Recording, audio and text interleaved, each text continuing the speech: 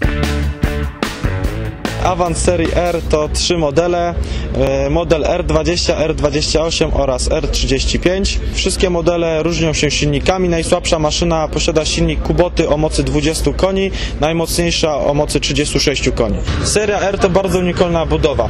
E, Dzięki temu, że operator siedzi na tylnej części maszyny, możemy wjeżdżać nią do bardzo wąskich pomieszczeń. W maszynie posiadamy, jak w każdej innej serii, panel sterujący z prawej strony. Do sterowania służy joystick oraz kierownica.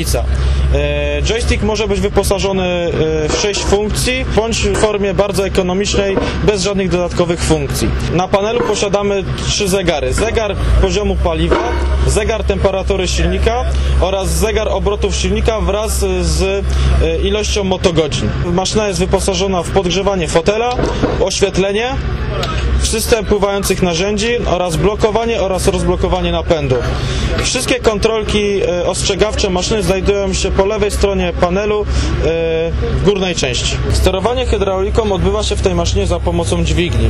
Możemy hydraulikę zblokować na stałe lub ją rozblokować.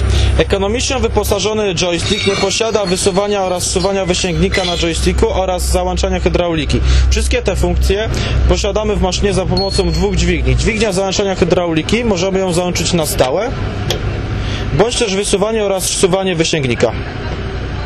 Regulację obrotów zmieniamy za pomocą dźwigni. Natomiast hamulec postojowy za- załączamy za pomocą dźwigni tuż nad nogą. Więcej informacji znajdą Państwo na stronie www.serafinmyślnikmaszyny.com